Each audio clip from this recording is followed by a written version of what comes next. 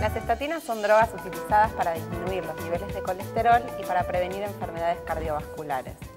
Sin embargo, en los últimos años se ha demostrado que además son capaces de regular la síntesis de proteínas que juegan un rol fundamental en la inmunología y la coagulación.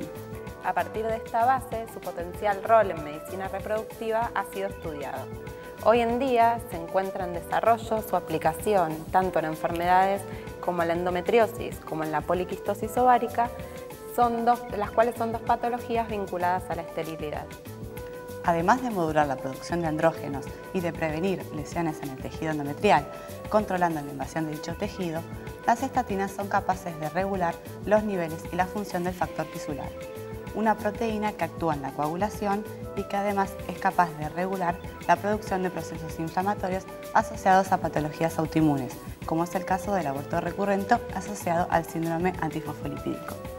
La unión de la inmunología a la hematología en la medicina reproductiva ha crecido en los últimos años.